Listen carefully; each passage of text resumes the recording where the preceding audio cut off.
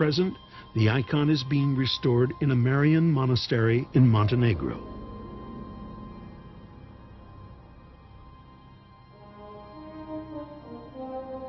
The knight's ability to adapt to complete change turned defeat into a success that lasted 200 years.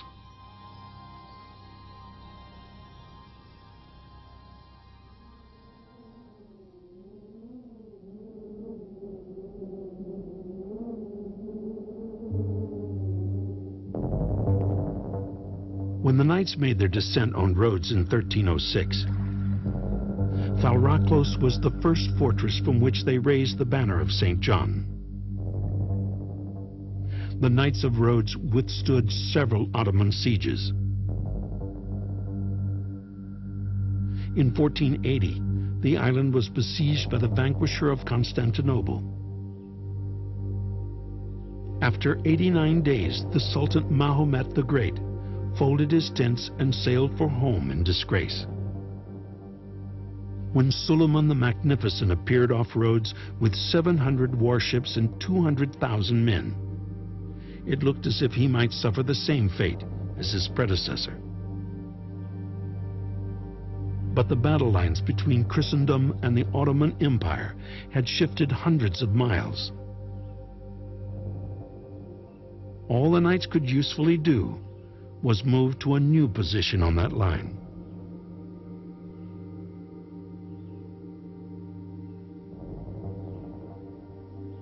Treason in the Knights' own camp caused the final capitulation of Rhodes.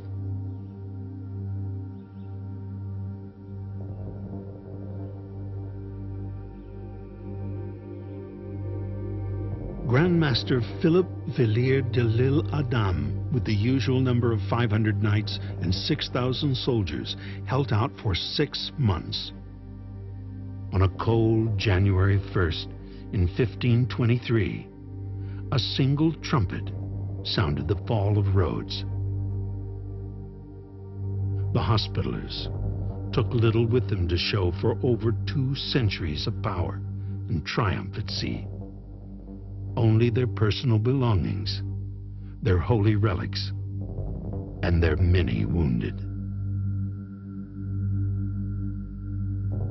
Time and man have conspired to destroy the castles and temples. A gaunt sentinel, Feraklos, was the last hospitaller outpost to surrender.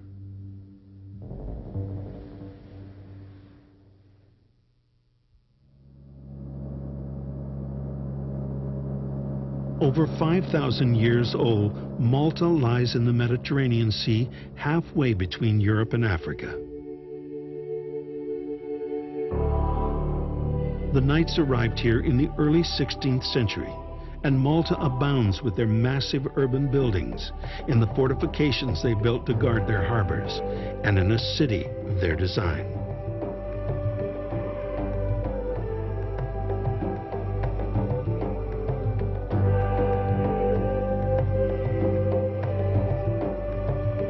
The knights left their last permanent impression on civilization here. Valletta is a bouquet of their final flowering.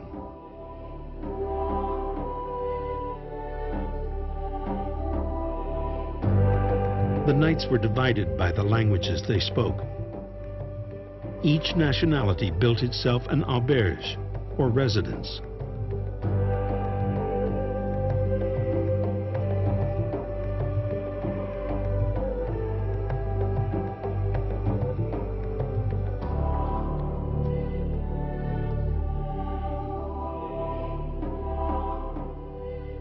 they erected a great house for the Grand Master.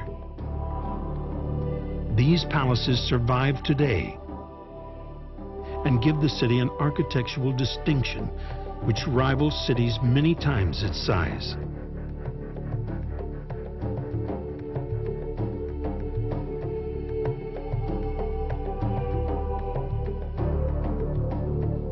The Order of St. John ruled supreme here for nearly 270 years.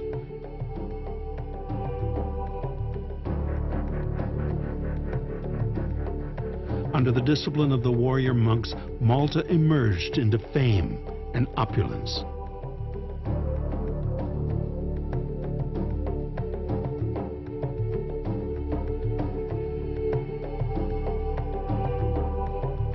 The knights instill the magic of their era in the beauty of their art, in the Baroque churches, and in their cathedrals.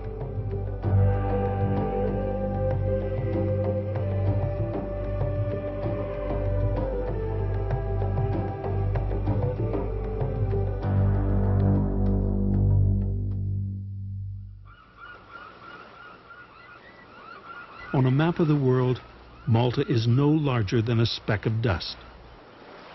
Yet on the horizons of history, it looms grand indeed.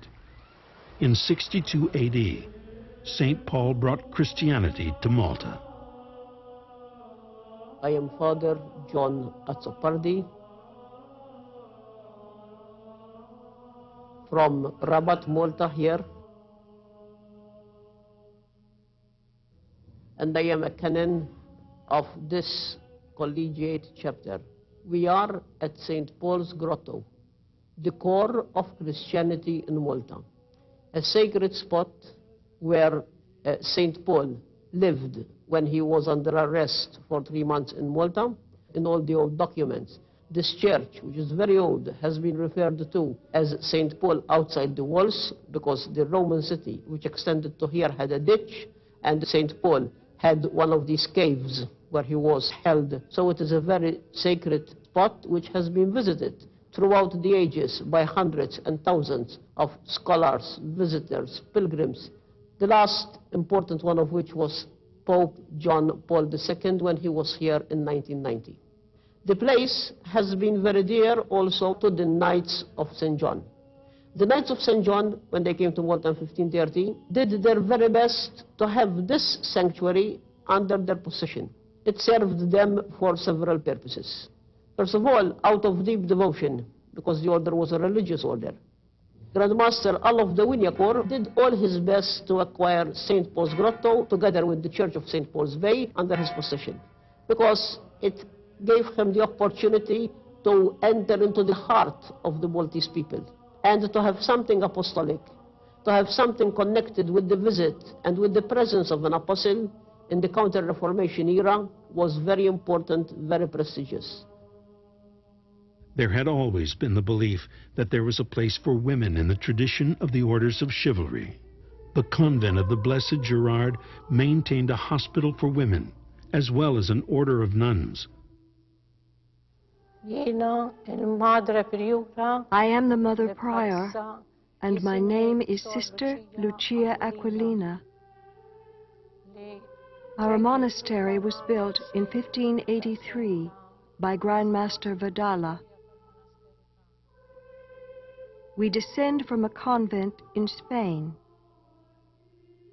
The Spanish order was established when the knights were on Rhodes. They wore the eight-pointed white cross and took vows of obedience to the master of the hospital. When Rhodes fell, the nuns changed the color of their habit from red to black.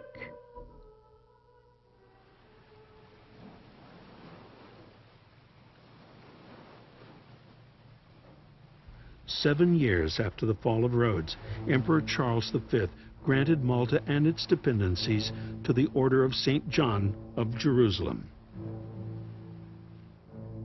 Survivors of the Crusades, the Hospitallers had gone from a nursing brotherhood to a military order, from a land-based defensive power to a sea-based offensive power. They had outlived the other military orders, and now they would stand as Europe's last defense against the Ottoman Empire.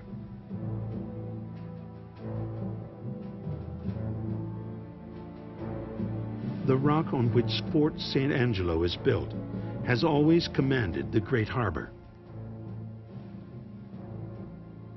In ancient times, the great temple of the goddess Astarte stood here.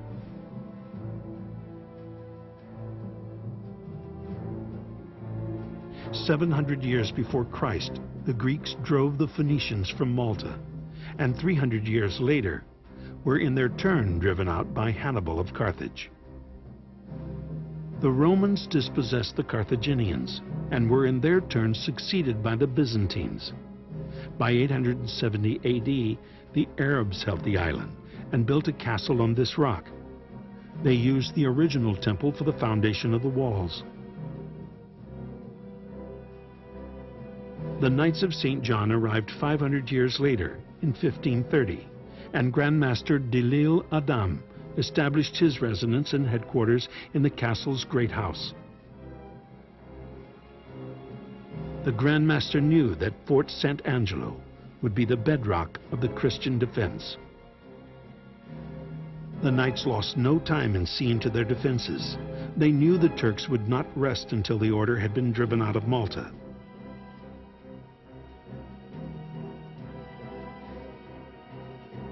Towering bastions and batteries were constructed to provide a platform from which the order's heavy guns could defend the harbor entrance.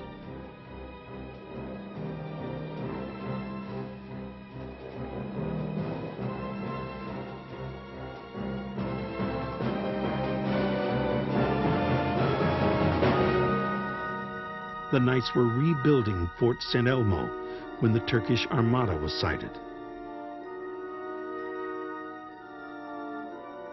They had run out of time.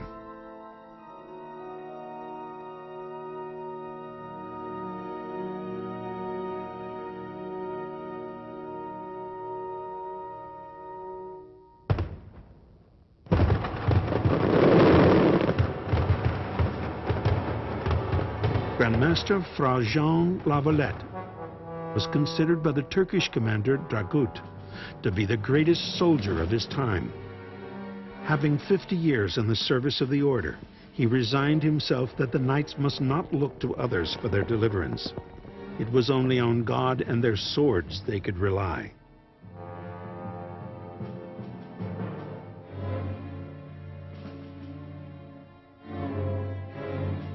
The Siege of Malta is one of the greatest epics of military history.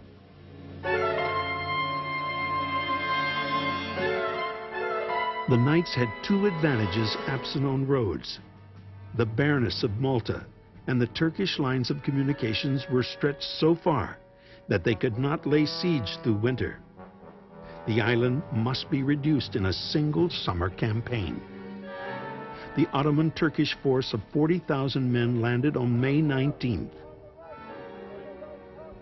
Those at Lavalette's command, 540 knights, 400 Spanish troops, and some 4,000 Maltese.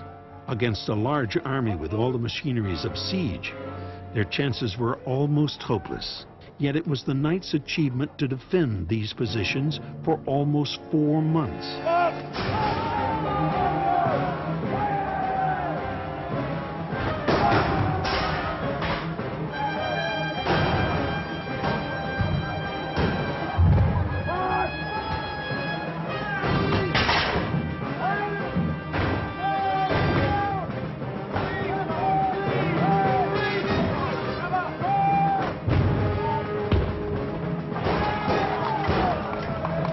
Was a moment when all seemed lost, but the firing stopped and the Turks retired.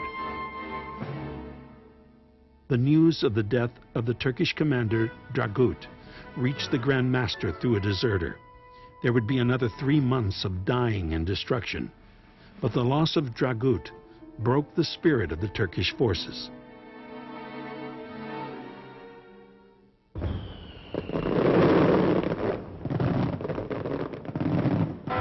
The landing of a small relief force, siege was broken.